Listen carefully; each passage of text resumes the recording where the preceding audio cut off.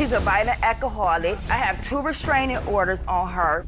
It's been nonstop drama and chaos. She told the police that I tried to stab her with a butcher knife. She has attacked other people in the building. The night that the fight happened. Which fight? So all y'all do is fight. Next, Judge Mathis.